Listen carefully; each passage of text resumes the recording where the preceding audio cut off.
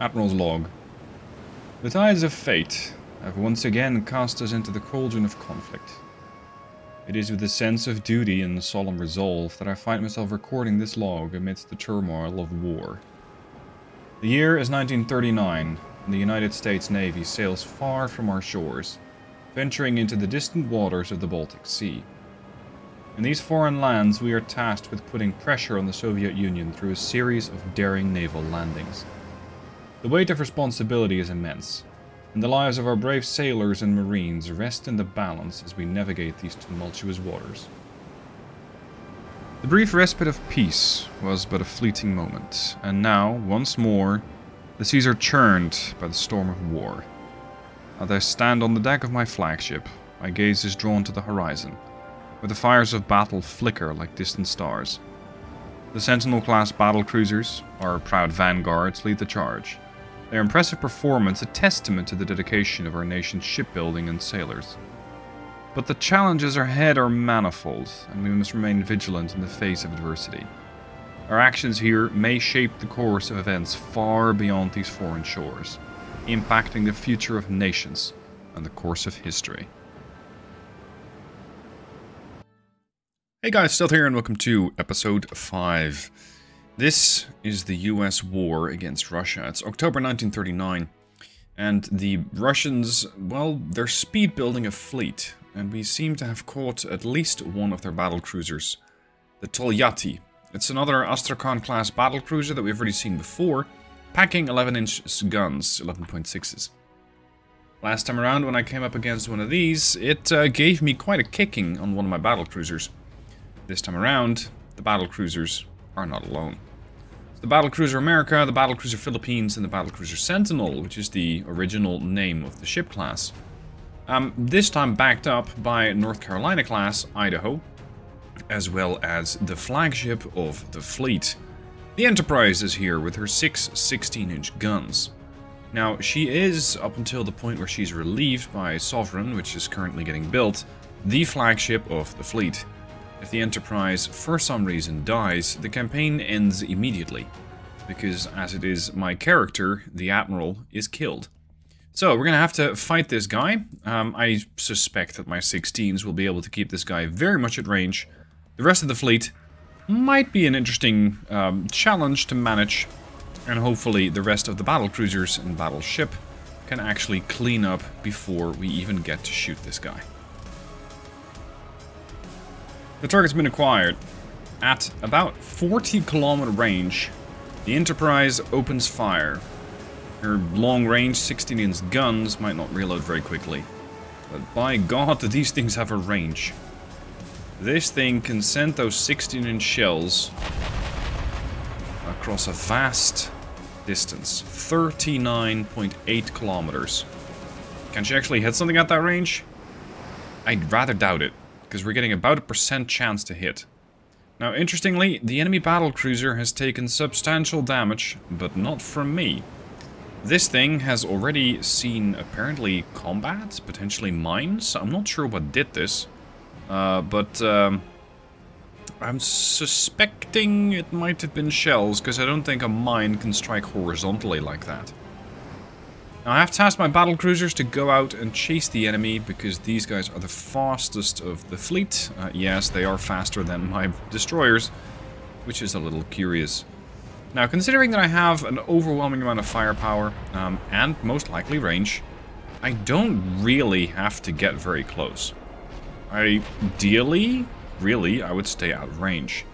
Because I have the Idaho here as well. She's not quite in range yet. She can fire to 24 but she's almost there. The battle cruisers with their 12s, and these are long barrel 12s if I'm not mistaken.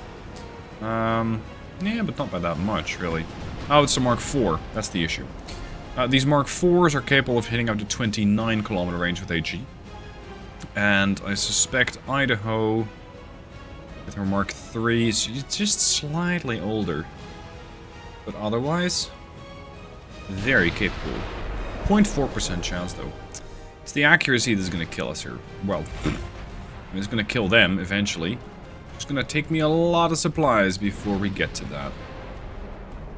Thing is, with a 16-inch shell, you're going to get lucky once. Enterprise. 15% chance already. That's a 20 kilometer range, which is basically half her range now. And there's the first massive impact. 1258 from a 16 inch shot. So that was the Enterprise.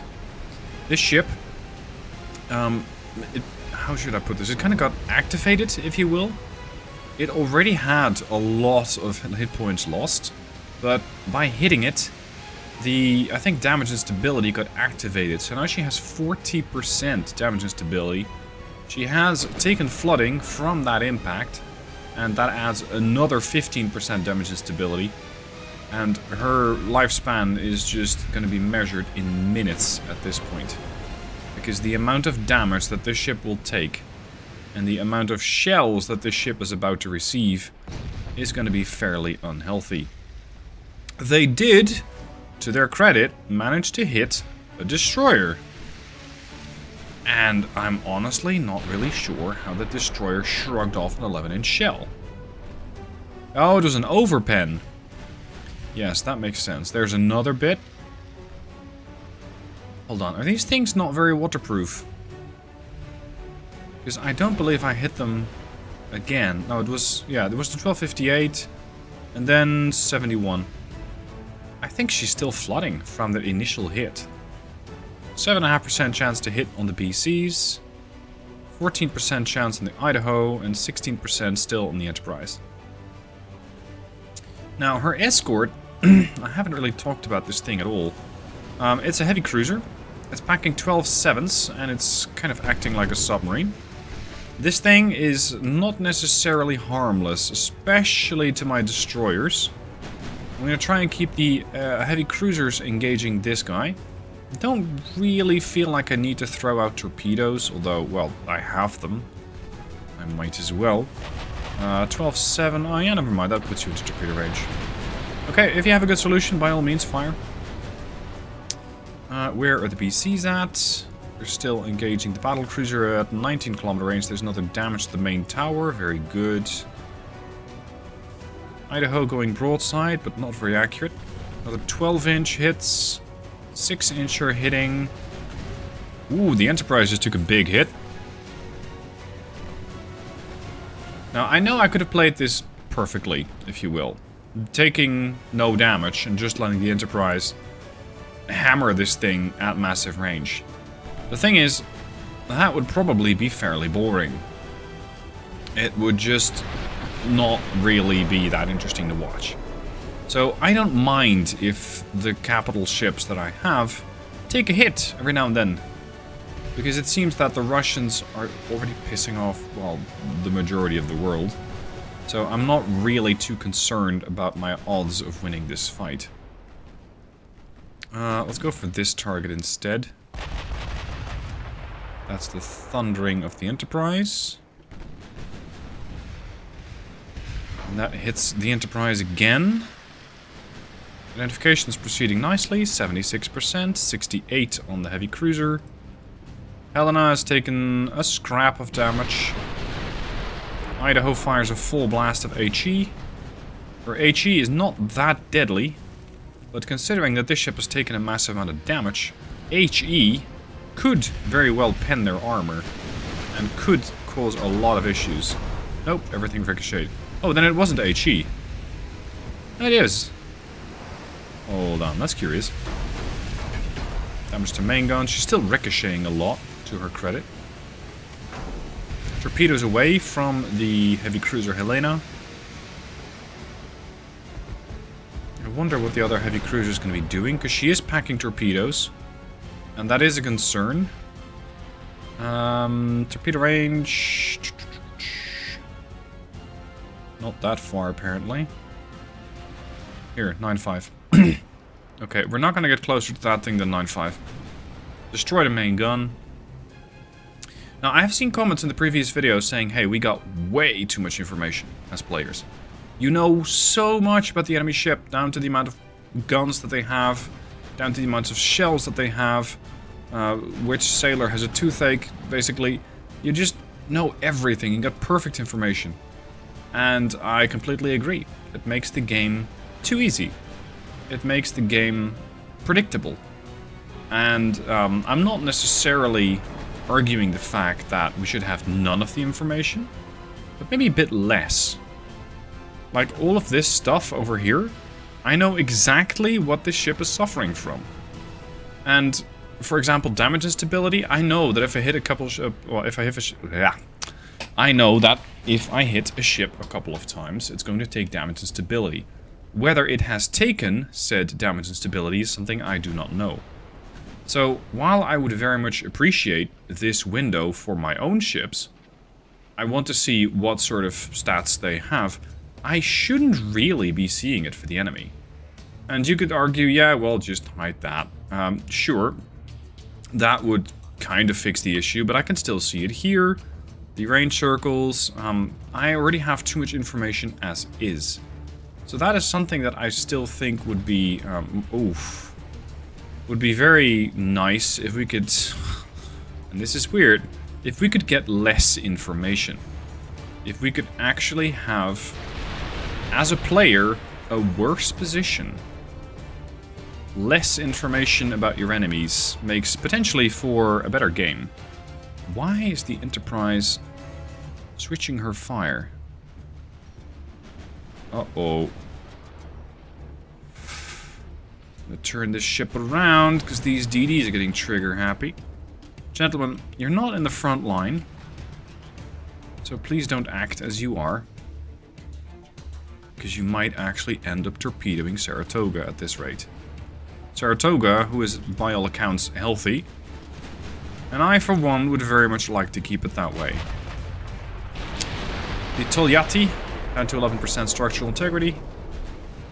She's taken 5k damage, but of course that's not telling the whole story, as most of the ship was already gone by the time that she got here. They do have a lot of armor on this thing. 12.5 inch armor belt.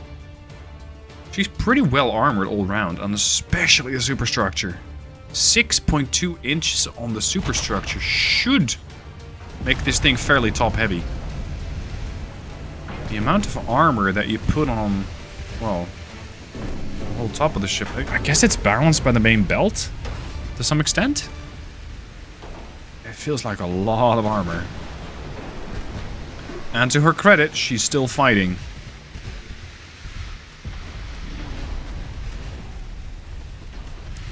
Time to finish this party. We're gonna fire HE salvos at them. Why HE?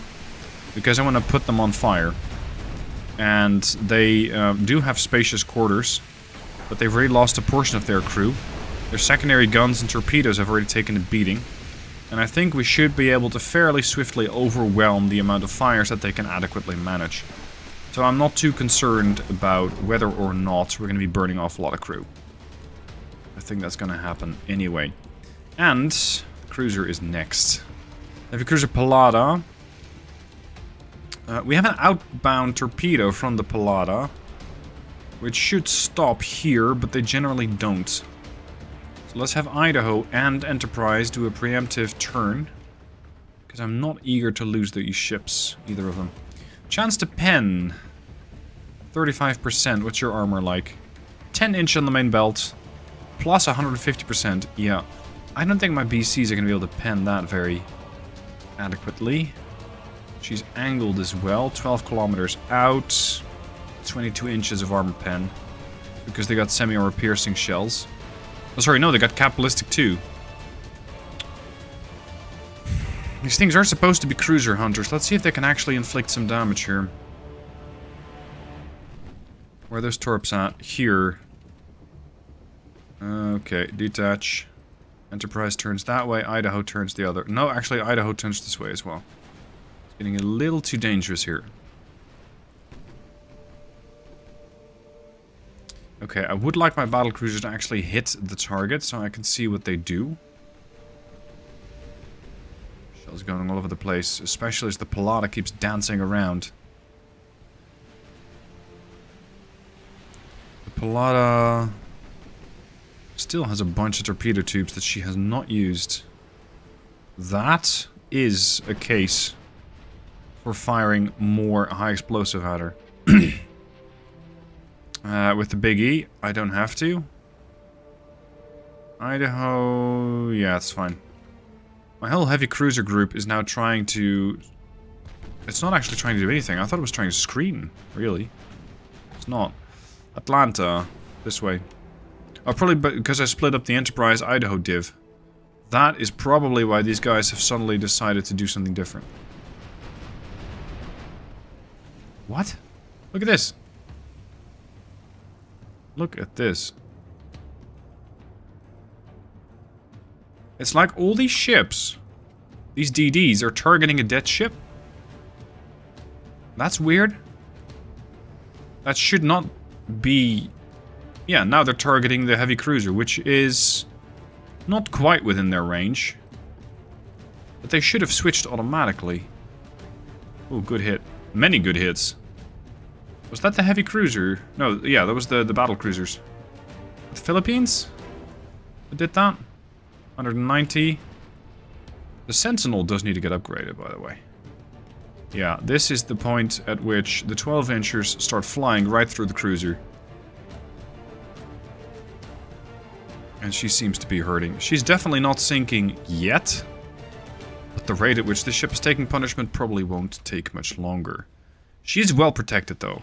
Spacious quarters, maximum bulkheads, lots of crew to keep the ship safe, lots of armor, lots of bulkheads to subdivide the ship to ensure that not single hits are critical.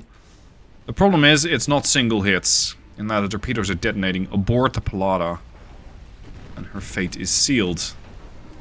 Engine is out. Another torpedo launcher has been destroyed. Pallada has done 338 damage and has now taken 15, 16k 17, 18, and she's gone. Now, the Russians did manage to do some damage against Helena. They did inflict a hit on the Enterprise. So, by no means have we escaped without harm. But we did take home about, about a 100 times as many victory points as the Russians did. What is this going to mean for the rest of the war? If the Russians want to sue for peace, I do not. I will not accept that. Or rather, I will recommend my government not accept that. And here's why. I'm planning three naval invasions. Yeah, it's potentially a bit ambitious. Um, the reason for it... Nope. Fight to the end. The reason for that... No, no, no, thank you. Is that I want to do an invasion here in Latvia, which is uh, not exactly an independent country. I want to do an invasion over here in Lithuania, and I'm looking towards the far east. Moskolova is the port where we are currently, which is part of North Sakhalin, and that is where another task force sits.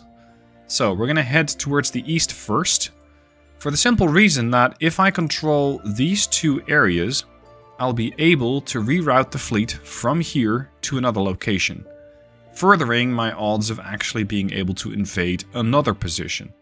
So we're going to do a naval invasion against Russia in the area of North Sakhalin. Uh, whether I have enough, I don't know. That's something that's unfortunately only revealed in the next bit, the next turn. It's something I would like to see, because the game says, hey, you need 100,000 tons to start your invasion. Cool, I have way more than that. But generally, when you then actually launch the invasion, the game goes then, ah, yes, well, actually, uh, you have 100k plus, check. But you need a bunch more. You need lots more. You need like 250,000 tons, and then you go, ah, I might not have that. Um, as the invasions are being prepared, I'm going to do some ship designing, because currently, I have the fairly old Morris class from 1930, I did revise the Morris class in 1936, but these are 3,000 ton destroyers, and by now, I can build something far superior to that little destroyer. Uh, no, this is not what I have in mind. The Advanced Destroyer Large can go up to 4,500 tons, which relative to the Morris is 50% bigger. So this ship is going to be having a lot more firepower, um, ideally more range, and critically more speed, because that's something that the other ships just did not have, and still don't have. They're still pretty slow. I also have the Compact Advanced Destroyer. I have the Destroyer Leader. I think the Destroyer Leader is the type of hull form I'm using for the Morris. Um, the Destroyer Large has pretty decent hull form, pretty good sustained speed while turning, and uh, should also make for a pretty good surface, um, let's say recon unit, because it has surface visibility of 4400. Oh, actually no. Surface visibility, is that like how I'm visible or how I'm able to spot? Yeah, it's the spotting range the tower becomes destroyed, enemy ships can only be spotted according to their base surface visibility.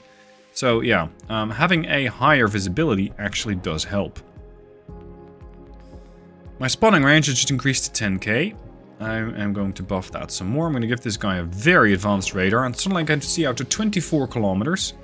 If I add radio direction finding, that doesn't do anything, but it does improve my ASW rating, so I can kill submarines a little easier.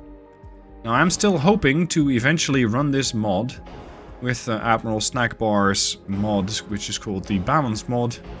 But when I installed it recently, and recently is uh, 24th of July, the game just wouldn't launch. So I decided to go back to the vanilla version, and unfortunately, um, we're still using this standard situation, the standard uh, version of the game. Alright, let's set up a secondary tower. I'm not going to go for any particular, I'll say, destroyer design. Um, because I always end up on, let's say, the losing part. If I build a ship that is not exactly according to historical standards, somebody's gonna go, oh no, that's not historical. If I uh, do build it historically, it's generally not gonna do that well for gameplay purposes. So, one way or another, uh, I'm always going to end up getting shafted. Alright, let's get some bed armor on here. I also still need to fix a torpedo launcher. Uh, where am I going to put that? The fore weight offset is pretty high. Is it going to work if I put the launcher there? No, not really. Pitch is 53%! Yikes. That's going to be awful for her stability. Hold on, what? That's a neat trick. Huh. Wait, it's not even this one? What's causing the pitch of this ship to be this this bad? I, I can increase the beam. I can increase the draft, but increasing the draft makes it worse. Now, lowering the draft kind of makes it better, but you're sacrificing a ton of range. Um... Hmm. If I take this off... 53.9?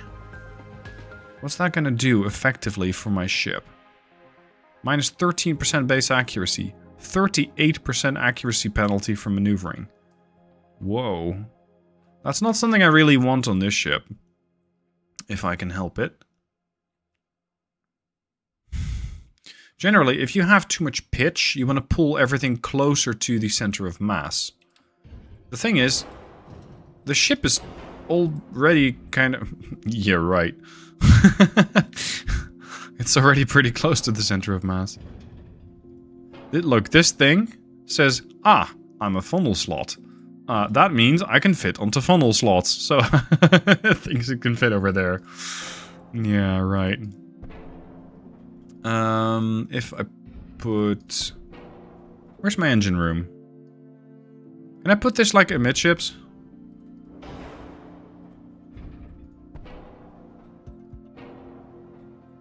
I do need a secondary tower. Okay, fine. Here's your secondary tower. Go on. 55-2? 56-1? What's with these ships? Why are these boats so bad? 65? Am I missing something obvious? Or is this just a pretty awful hull? Because if it is the latter, then I'm probably not too well off picking this particular design. I can see you doing some pretty ludicrous things with this design. I mean, all this whole space does give you like a lot of options. Are they great options? Mm, maybe not. I mean, this is funny, I think. Because you can fire at 15 torpedoes at the bow. Um, if you pack like 23 inch oxygens that can reach 23 kilometers. Uh, sorry, 20, yeah, 23.8. They'll never see you. They'll never even see you. Is it going to be actually hitting something? Uh, I don't think so. It's also not exactly what I need for this particular design. Now, I think the only real option that I have is to either ditch the heavy modern main tower and go for the enhanced modern tower. 18 base accuracy, 22 base accuracy.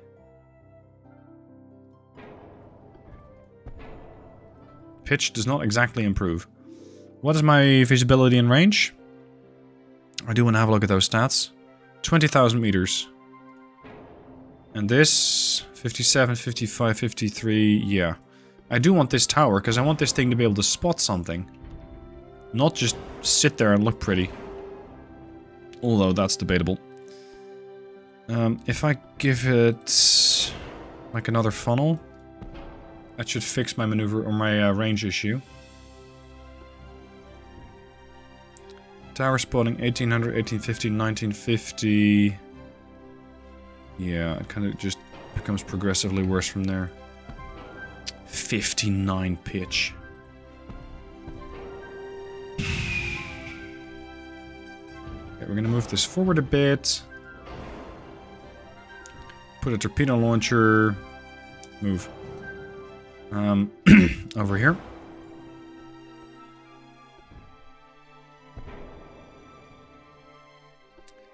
And if I want to buff all these things, is that going to help me? I think... I think these things are best used as fire spitters.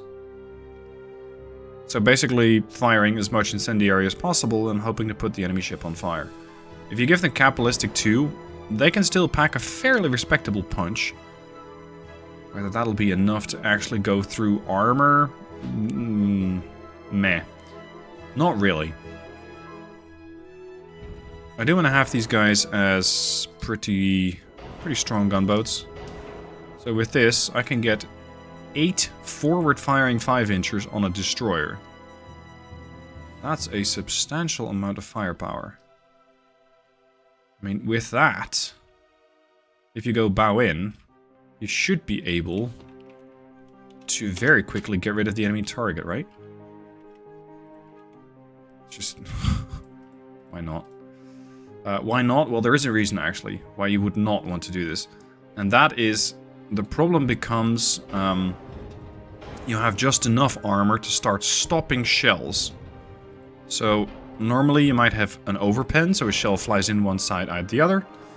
Um, if you don't have that, and the shell actually has enough to arm the fuse, well, that can make things less ideal.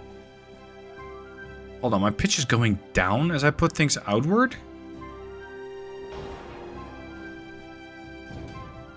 Really? I don't believe it should happen that way. Maybe this hull is just a bit borked. Anyway, um... Can I put some dual barrels?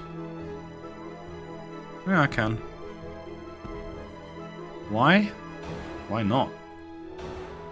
American boat. Oh, come on. You're telling me you have a spot there and then you block it?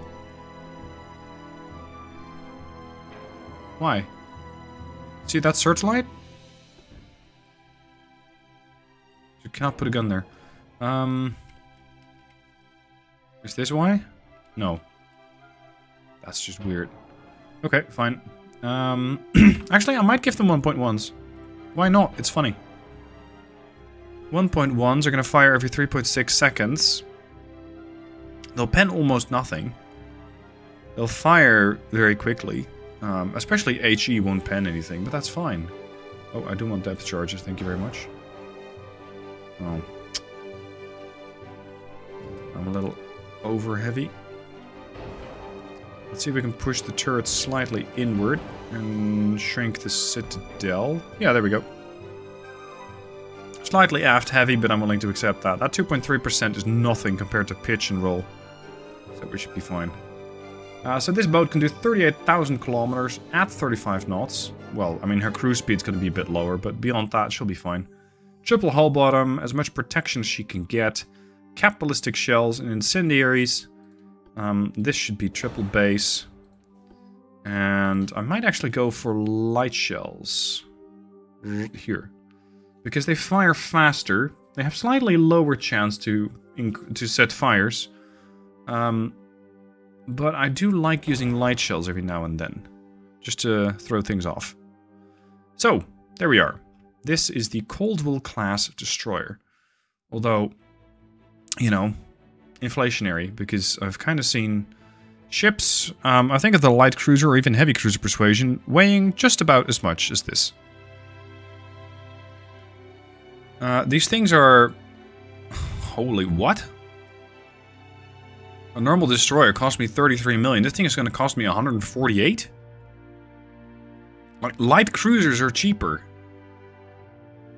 He heavy cruisers are cheaper than this? What is making this thing so awfully expensive? This thing is costing me 5.9 million a month. This thing is costing me 8.5 million a month? Wow. I mean, I do in a couple. But that's really expensive for a DD. But again, it's, well, displacement-wise, it's more akin to a light cruiser. So, Next episode, we're going to see how goes the invasion. Or rather, invasions, because I'm going to be planning a lot more. So be sure to join next time. Thank you guys for watching this one. I hope you enjoyed, and I'll see you soon for more.